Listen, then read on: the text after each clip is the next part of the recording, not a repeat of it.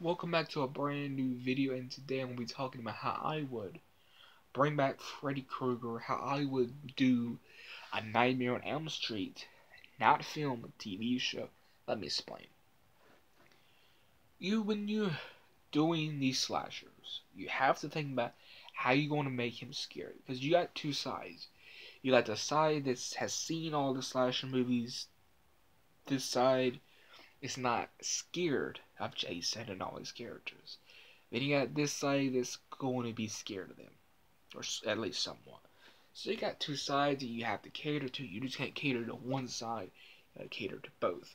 And how I would do that is have a Nightmare on Elm Street TV show. Yes, we had one before, but not like this. A Nightmare on Elm Street TV show actually showing Freddy before he was burnt. Have a 10 episode Netflix original series on Netflix and show Freddy before he was burnt. You know, I feel like an interesting twist would be um that's one thing I hated about the remake that they forced he was a child molester. Um, in the original films, they say he was a child killer. Um, he never. Re- it was never really explained if he did it or not did it in the original. So what I would do in this TV show is he didn't do it. He didn't harm them children. He didn't kill any children. And what I would actually say is he was falsely accused. And what I would do is have a twist where I would have a twist, basically. And the twist would be, you know, Krueger is his, you know, weird, you know, late 20s, 29, late 30s, you know, you know, he's 35, 39, maybe 40, you know, he's a very weird old man, basically. And, you know, he kind of creeps around a little bit, and, um, but no one really knows why he does this, and they all just assume um, that he's harming these children and stuff. You know, I'm not going to say it in the video, but you know, and and they, you know, and the parents are thinking, oh, we know what he's doing. He's killing the children and all this, um, because the children, some of the children, are going missing. Where are the children going? Um, again, I'm not a writer, so someone have to correct me on this, but what if Freddy was protecting these kids? Now, I see some complications in my ideal, but say what if Freddy was trying to protect these children? And he was hiding some of the children and he was watching some of the children to protect them because Springwood always had dirty secrets. And one of them dirty secrets was they always abused their children. And what happened was on the night of when Freddy got burnt, again, when you're a human and you're a demon, you're two different things. You know, if you got a demon inside of you, you're controlled by the demon you have the mind of that person, but that demon is going to take that demon's to take control. So when you know Freddy's getting burnt, you see in the scene, and all of a sudden, and he's met with a dream. You know, he sees the dream demon,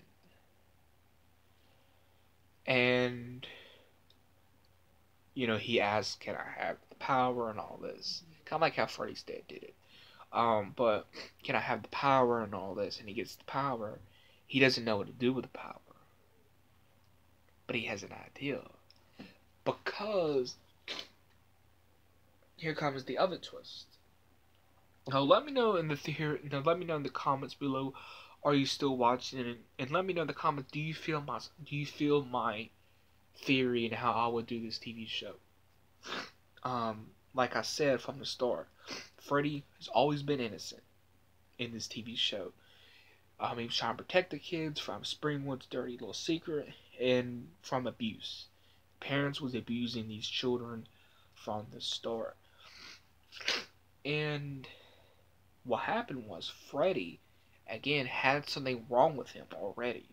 He was not all there. He was, you know, and he did kill one of the parents. He did kill one of the parents. He did kill one of the parents out of protection. But Freddy, in this moment of hysteria, of his moment of hysteria, he doesn't know what to do. He sees this this kid screaming and saying the kid's gonna run to the cops and all this, and Freddy doesn't know what to do. You know, like this is where he snaps. Like he sees the kid and kills the kid.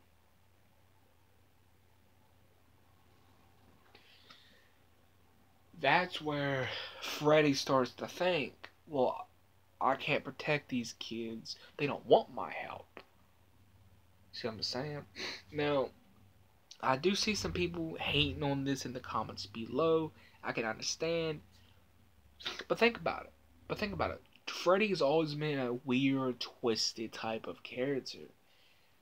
What if his real demeanor was yes to protect these children, but really but really don't make him sympathetic, but like have so many twists in the first season. One of those twists was he was actually trying to protect the children, but actually he was not all the way protecting them. He wanted to kill the parents. And by him killing the parents made him snap. Him killing the parents made him snap, and he was already on the verge of snapping. Him killing these parents made him snap even more. And then going into that snapping mode, and him hearing these kids talk about him, and now he just has it out for these kids. When he hear he when he hears the kids talking about him and how dirty he is and what he did because the kids let you know let the kids find out what he did.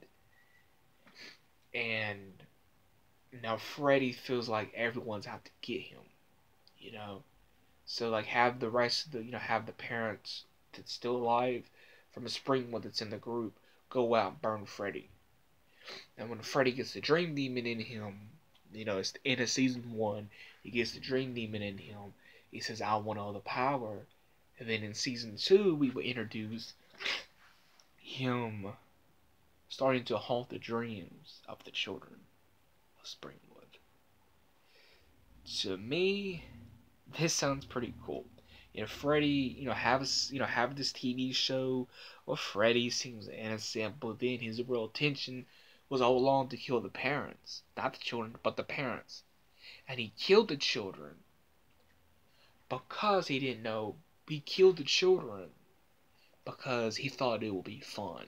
Even have a line in the TV show where he says, Well, I didn't know what to do at the time. I thought I was doing the right thing by killing them. But I also liked it. And have Freddy say something like that would be pretty cool to me. Um, who I, you know, you know, they're not gonna get Robert Englund to play Freddy. Who would I choose to play Freddy? I would get a no-name actor. You can get a no-name actor. Get a no, a, get an actor that has a no name, no ties in Hollywood. Get a no-name actor. Say, make this character your own. Make Freddy your own character. That's what I would do. That's how I would make Nightmare on Elm Street, the TV series, the Freddy, the Krueger TV. In fact, I would call I would call this TV show not Nightmare on Elm Street, not Freddy. I would just call it Krueger. I would just call it Krueger. Um, I would just call it Krueger. Because I think, let me know in the comments below, do you think that's a cool idea? You know, Freddy seems innocent, but his real intentions are to kill the parent. Then, then things go south, and then he knows what he has to do now is kill the children because the children are a witness. They're the last little piece of the puzzle. But he starts to enjoy killing these children and torturing them, and you know, in their dreams, he enjoys that. You know, he gets a rush off of that, and that's where he becomes Freddy Krueger that we know and love today. I think that'd be a pretty cool idea. Don't make him sympathetic. I don't think you can sympathize with that, but and two is making Freddy very dark. Like it's giving him a very dark back backstory. We're not going too far back. But let me know in the comments below. But let me know in the comments below. Do you think that'd be a cool idea? Um, let me know in the comments below. Do you think a Freddy Krueger Nightmare on Elm Street TV show would be awesome like this? And would you like to see a no-name actor play Freddy since they don't want Robert to come back? I would like to see this type of TV show because again, it's making Freddy scary, it's making him dark, and it's making him very unpredictable. And you know, you can lock this TV show in for three seasons, and then after your third season, you can do film. I think that'd be pretty smart. You know, test the waters with Freddy with his TV show on Netflix, and when the Netflix series ends, you go, and you know, to the big screen. That's how I would do it. But let me know comments below. Let me know in the comments below. Do you like my idea? You know, I've been thinking about this idea like all day. And I thought, hey, I'll make a video on it. Well, make sure you go check out my two other videos I did. I will catch everyone in the next video. Peace. Have a great day.